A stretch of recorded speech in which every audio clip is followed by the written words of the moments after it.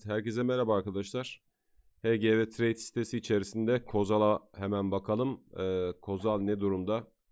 Ee, destek dirençler, algoritma analizleri, dip zirveleri falan hep size bırakıyorum. Artık e, YouTube videolarından görüyorsunuz. Biz hemen grafik bölümüne geçelim. Hızlı bir bakış yapalım. Nasıl görünüyor, ne durumda? Destek dirençler nedir? Günlük listelerle alakalı e, sorular vardı. Onun için ayrıca bir video çekeceğim arkadaşlar.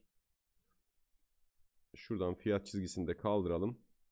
Ya Kozal zaten artık sürekli analizini yaptığım için hatırlıyorum. Göstergelerde HG ve Trade Lazer'e geliyorsunuz arkadaşlar. Önce bir güce bakıyoruz bir değişim var mı diye. Uzun bir zaman öncesinde zaten biz zayıflık olduğunu söylemiştik burada. Bir zayıflık vardı ve bu zayıflık hala devam ediyor. Bu zayıflığın devam ettiği bölgelerde ne yapıyorsunuz? Hemen uzun vade bakıyorsunuz. Sonra orta vade bakıyorsunuz. Gün içerisinde eğer trade ediyorsanız kısa vadeye de bakabilirsiniz. Özellikle Forex ve kriptoda kullanıyorum bunu. Şimdi uzun vadeyi açalım. Bu geri dönüş nereye kadar sürebilir?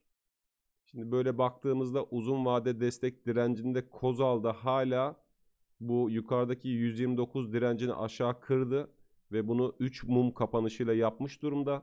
Aşağıda 115'i artık e, konuşmayla alakalı bir yere gidiyor analizler. Yani uzun vade hesaplamasında altta bir destek var.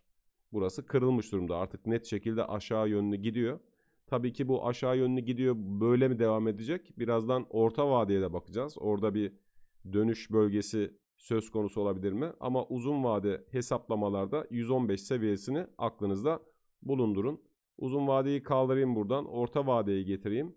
Orta vadeyi öğrettim. Ee, özellikle webinar çalışmasında e, bunu uzun uzadıya anlattım.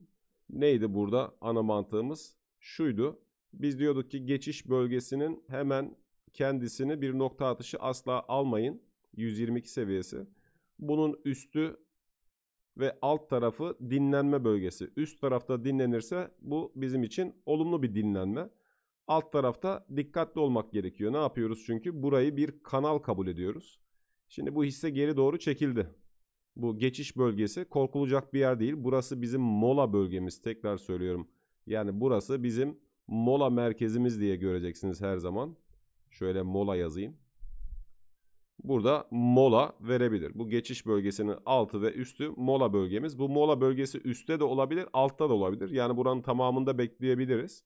Şimdi bu mola bölgesini düşündüğümüzde fiyat şu an bu mola bölgesine geldi. Bu ne anlama geliyor? Evet fiyat buradan gelip buralarda veya bir altta mola bölgesinde kaldığı sürece yani 120 noktasında kaldığı sürece bir problem olmayacaktır dinlenme bölgesinde. Buradan tekrar yukarı yönlü bir hareket söz konusu olabilir. Dinleneceği yer burası olacaksa. Yukarıda tabii ki tekrar nereye geçmesi gerekiyor? 124 direncini geçmesi gerekiyor. Bizim için önemli seviye şu an için Kozal'da bu görünüyor arkadaşlar. Bunu takip etmenizde fayda var.